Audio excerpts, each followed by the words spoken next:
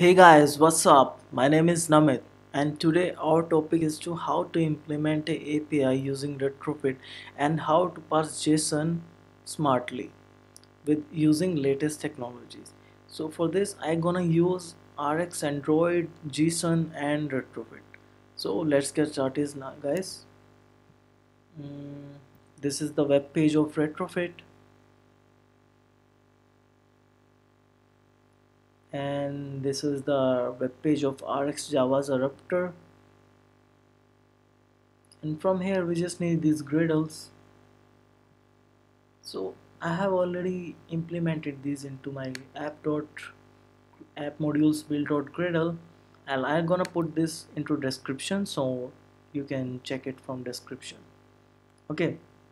So guys first of all let me show you how I'm what kind of data I'm getting from API so I'm getting a JSON kind of data which have seven list.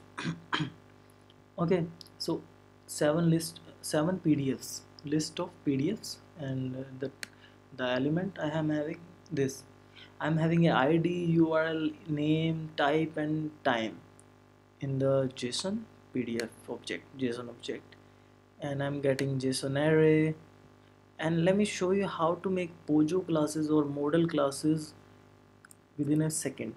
So just copy this complete data of your API and open this URL I'm gonna put this URL into description so and paste your entire JSON here. Okay and then hit generate generate. Sorry.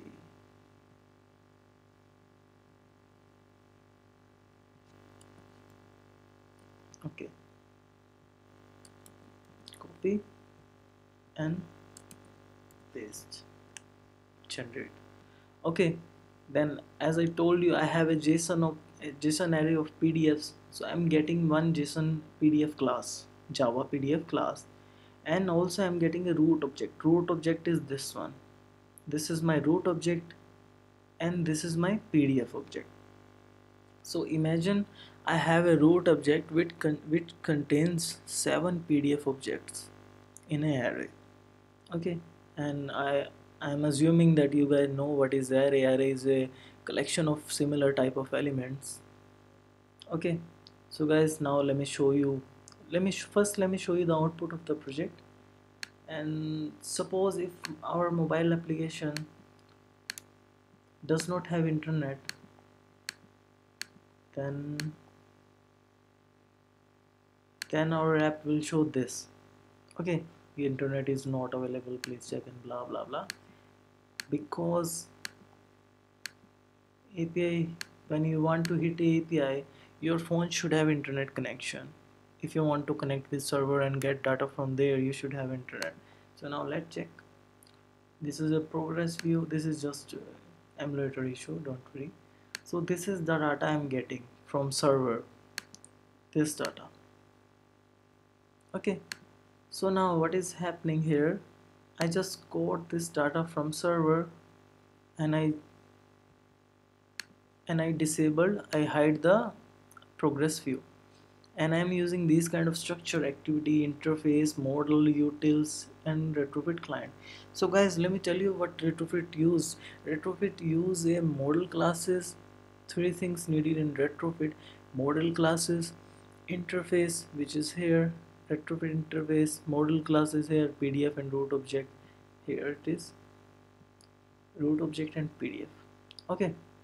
So one is interface second is model classes and third is retrofit client. So I am creating this client statically static method because I don't want to create an uh, every time.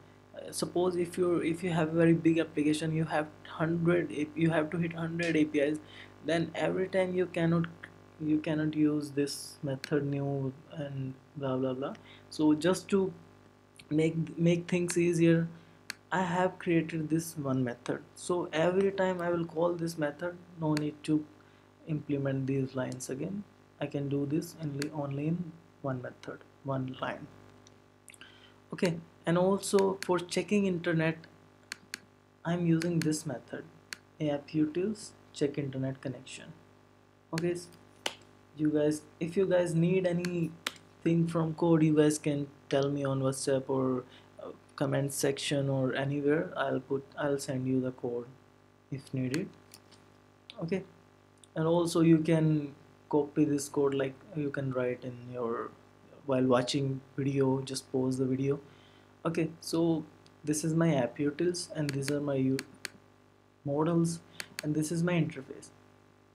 And retrofit interface work like this, this simple interface in which I have the path of the API okay.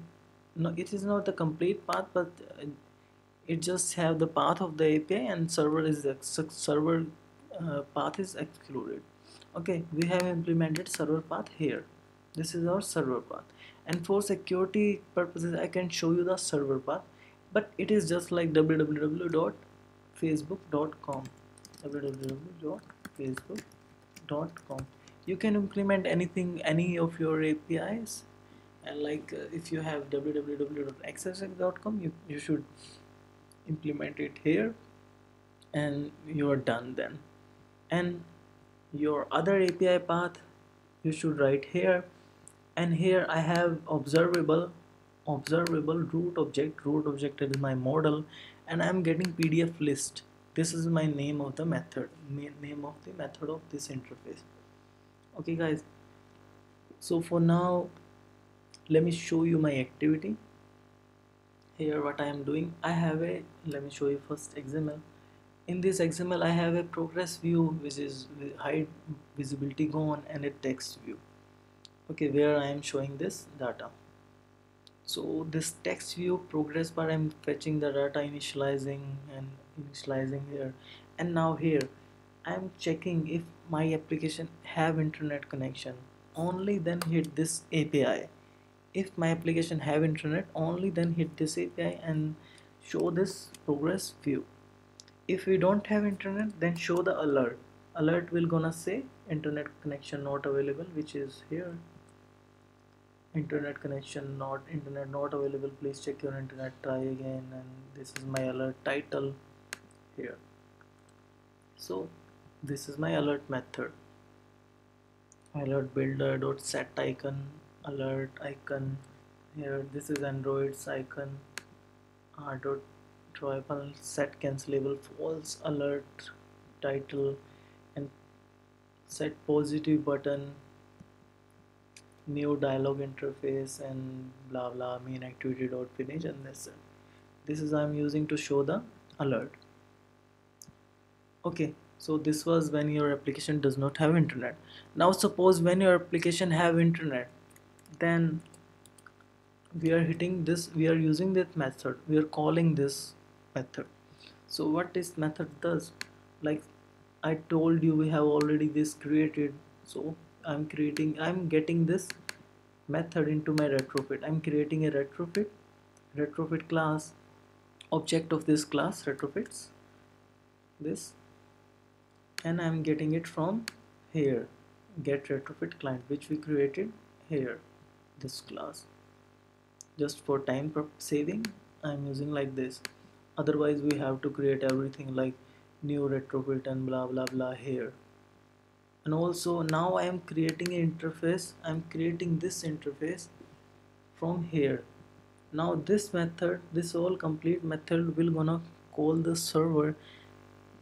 This will gonna tell the server like sir, we have this uh, our application wants data from you.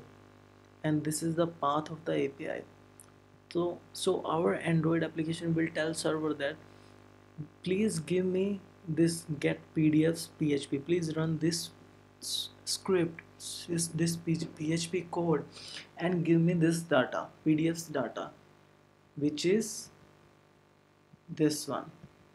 Okay so server gonna give me give us this object this json.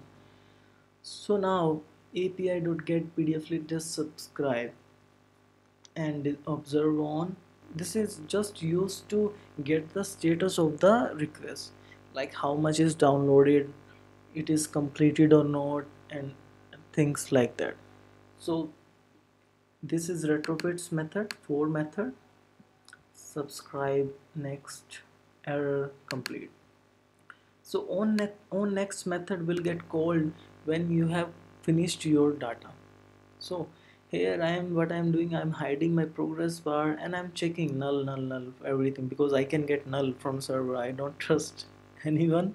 I'm Android developer. I don't trust anyone. I only trust my code and my application. So that's why I'm checking everything here because uh, and I'm using this two string method mm, here just to convert this everything into a string format like this one is string format. Okay. And I'm setting this data to string into here. So this is my text view. So if I got suppose if I got error then I am hiding my progress view and I'm showing the alert.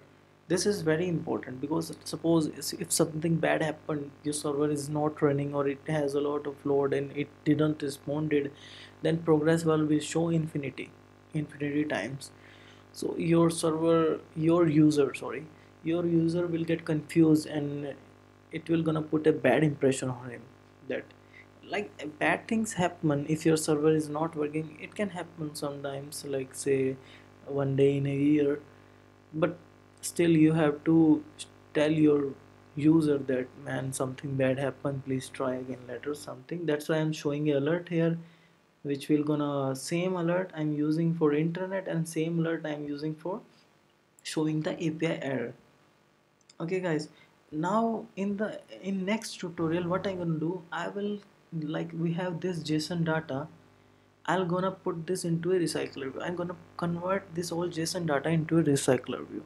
And also we will have a download button into recycler view or view button whatever where we will have where, where user will click on that button and they will see this pdf okay guys so that's it for now. And if you think this video is worth please like it share it and subscribe my channel and comment and hit the bell. Please thank you. Thanks a lot. And if you have any question please comments. Please use comment section. Thank you